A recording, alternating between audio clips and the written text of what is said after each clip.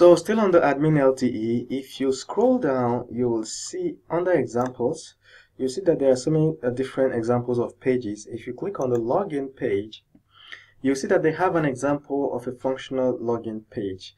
Now, what we're looking for is just this um, icon, this Facebook login um, button. So there are many ways to get it. You can just right click on it and then try to get the code.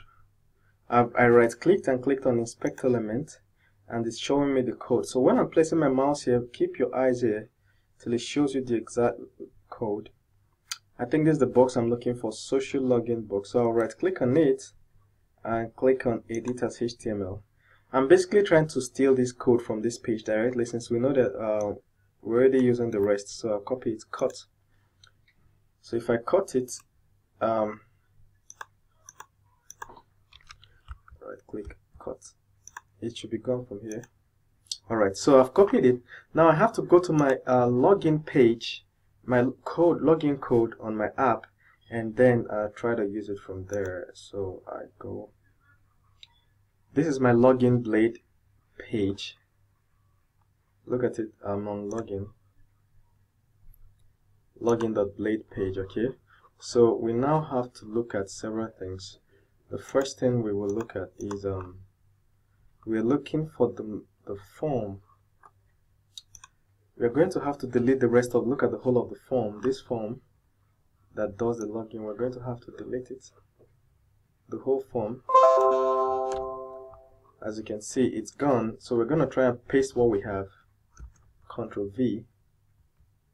I've pasted look at what I pasted.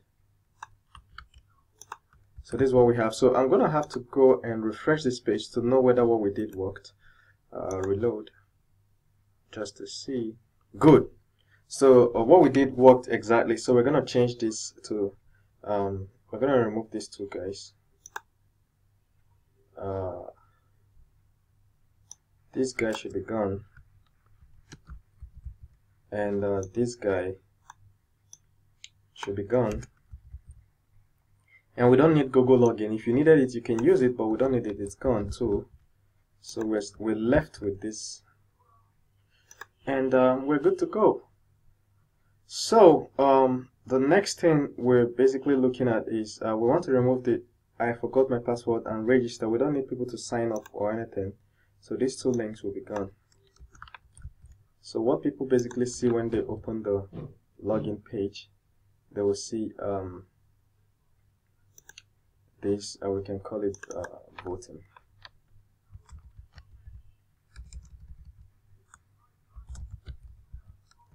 uh, voting platform voting platform.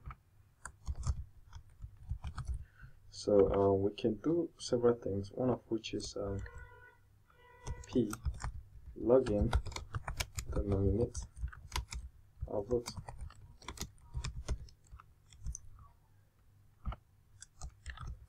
I think um, let's see how this goes.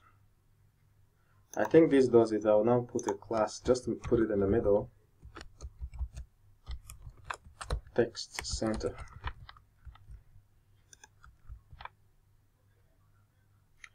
So this is it, voting platform. If you click on this, it just logs you in.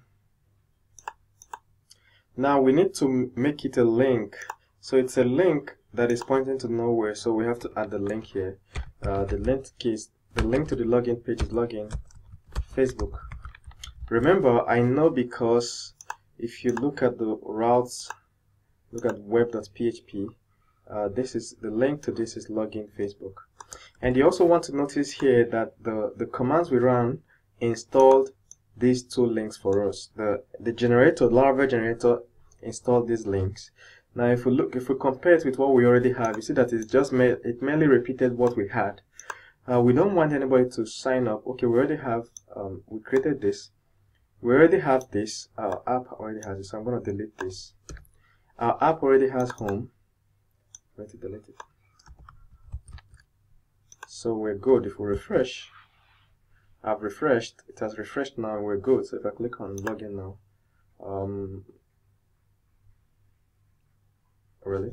So like I told you in past videos it's a common error when you're not um, when you're still in your development environment. But once you host your app uh, you shouldn't be seeing that error. So just make sure you get back to your page your your localhost 8000 slash login.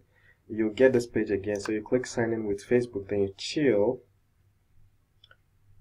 And you're signed in. As you can see it has created the basic template for us the very basic template with no, no menu and uh, anything. So what we're going to do in the next video is to use this uh, Laravel generator to build all the other templates, all the other files we need.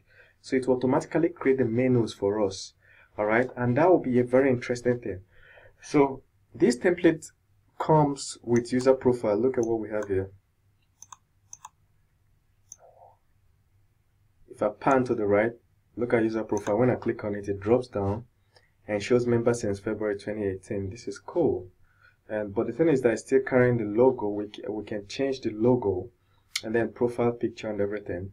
So see you in the next video where we change the logo and um, a, a number of things. All right? Thank you. See you